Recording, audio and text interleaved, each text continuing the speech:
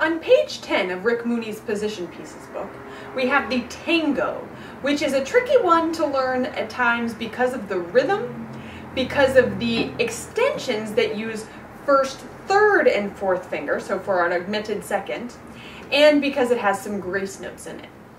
So, as far as the grace notes go, when you're first learning something with grace notes, it's often a good idea to just leave them out because otherwise they can kind of mess up with the rhythm. So that's what we're going to do to begin, is just leave out the grace notes altogether. For the rhythm, what we're going to do is think in eighth notes, okay? Because there gets later on, there's some syncopation in the rhythm. It's actually very cool. But uh, counting-wise, I find what really helps for me is if I subdivide eighth notes or think eighth notes rather than quarters.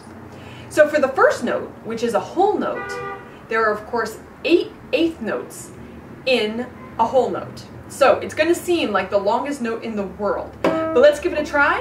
Um, I will count out loud, right? And you can maybe even just listen the first time so you get a feel for it.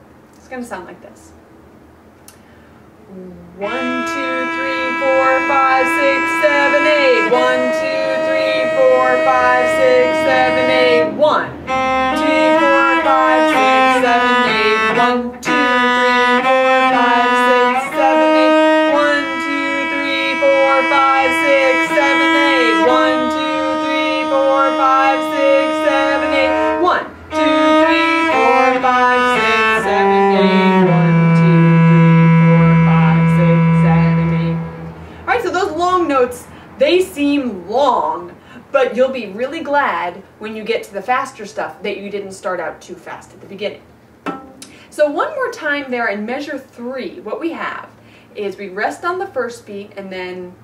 C natural, D sharp, E. Okay, and that one is maybe worth just isolating by itself and trying to get that really super in tune. Now, if we keep going and we add the grace notes in, we're going to have mm. Okay, let's do that one more time. Mm.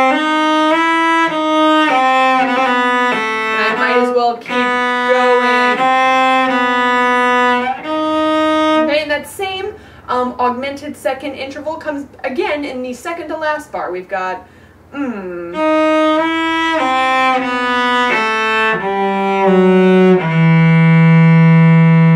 Okay, let's play it one more time. I will again count out loud, and this time I'm adding the grace notes back in. One, two, three, four, five, six, ready, play. One, two, three,